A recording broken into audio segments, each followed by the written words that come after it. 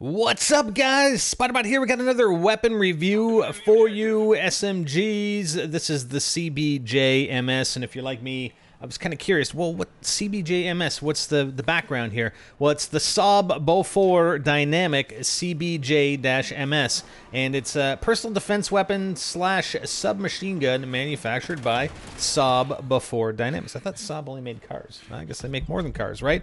Uh, anyways, so let's take a look at the CBJ. Now, it's kind of my least favorite of the SMGs, but I think a lot of that has to do with the the way I roll, right? The, when I'm playing search or, or I'm playing usually with my SMGs, I want a silencer on it, okay? So the problem with this, with the CBJ-MS, is that it has by far the lowest range. All right, it's got the lowest range out of all the SMGs. I mean, if you compare it to the Vector base range without a muzzle brake or a silencer on either weapon, it's got less than half the range. Okay, um, Vector CRB running at 710, the CBJ-MS is running at 350. So you do the math.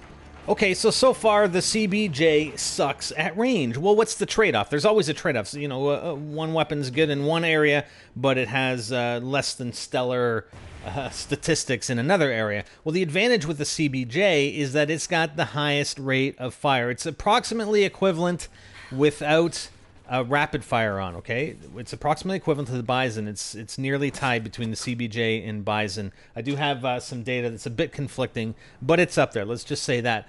With rapid fire, by far, the CBJ-MS has the highest rate of fire, and equivalently, when you combine that with the damage, and again, the, the damage, the max damage, so within that uh, that range of the weapon, the max damage before the damage drop off, uh, we're rated number tied for fifth. Okay, so we're pretty much on the bottom end. I mean, it's a slight slight advantage over the K7, but really not much. It's somewhat insignificant. But if you combine that with the rate of fire, the CBJ has the quickest time to kill out of any of the SMGs. All right.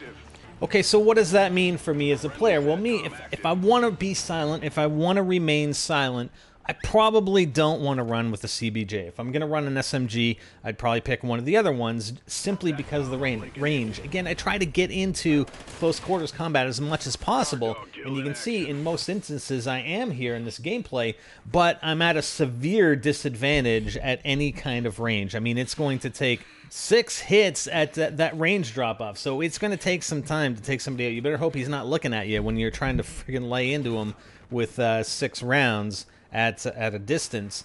So furthermore, it's got a limited magazine capacity. The uh, the Viper is the best at 42, and the lowest is the K7 and Vector tied at 32. Well, the CBJ has 34. So if you're trying to hit somebody at a distance, you're you know you're gonna run out of ammo pretty quick.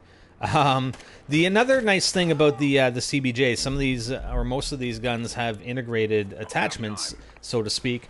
The CBJ has the uh, armor piercing tungsten round, so you don't have to select armor piercing. This not doesn't appear as an option for you to select armor piercing rounds. Um, so you know with that advantage as well. I mean, you know I, I can see armor piercing more than an LMG. It's not like you're going to take out a Hilo with the CBJ with armor piercing rounds. I mean, you're probably not going to be within a decent enough range to do much to uh, to a Hilo, for example. But the nice thing about armor piercing is that it uh, basically goes right through ballistic vests. So if the enemy team, if you do see the enemy team running ballistic vests and you are running the CBJ, then you really don't have to worry about it because they just rip right through uh, any sort of ballistic vests, and they also help. You know, if you're taking out a SATCOM or or any other um, sort of uh, kill streak rewards like that, other than the dog and and the. Um, I think there's one for the uh, companion dude or whatever you call it. I can't remember. I'll have to take a look at that. I've never used it before. It won't be advantageous for that, but for actual equipment, um, then it will be. So the standard uh, headshot multiplier of 1.5 and the silencer range multiplier at 0.75 stand, and that's similar for all the SMGs other than the K7, simply because it comes standard with a silencer. The final consideration we're looking at for the CBJ is the handling. So the handling, as far as uh, you know, raising the gun, ADSing, that sort of thing, it's approximately equivalent across all the SMGs. There, again, there are perks that are going to help you with that, but from a standard, here's the SMG perspective, it's in around the same range.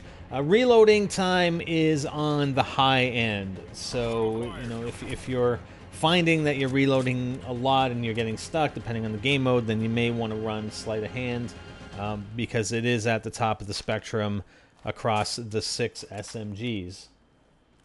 So one thing that I'm going to be doing, I've been going uh, through all the SMGs, and well, I just started really because I only got unlocked the gold camo for the uh, the Vector a couple of days ago. But I'm going through all the SMGs to start with, and uh, probably some of the other guns just to get the gold camos and do all the challenges to unlock all the camos to enable me to unlock the the gold camo. And I think what I'm going to do when I run the CBJ is, you know, step away, step outside my comfort zone of the silencer and equip it with a muzzle brake and probably a rapid fire mod. All right, and take advantage. I mean, the the thing you want to do if you're running SMGs, yes, there's the handling of it, there's the feel of it, there's just hey, I'm I'm going to use it for 20 hours and, and, just get to know it and, and get all nice and cozy with it. Maybe you know sleep with it a couple nights or whatever.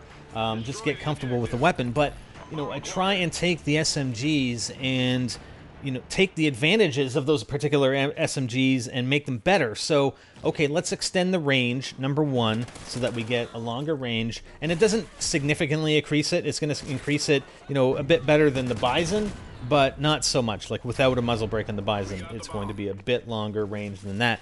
Um, but the rapid fire, again, looking at the strengths of the SMG with rapid fire, it's going to be again the quickest time to kill out of all the SMGs. So that's what I'm going to do, and hopefully I'll bring some gameplay uh, to you once we eventually do that and uh, and run it with uh, rapid fire and the muzzle brake. So hope you guys enjoyed, and uh, for all those of you guys using the CBJ, leave a comment and uh, let us know what you think. And uh, for those of you who aren't running the CBJ, why not try it out? Try it out with the uh, the muzzle brake and, and the rapid fire, and let us know in the video comments. That's it for now. I'm Spider, and I'm out.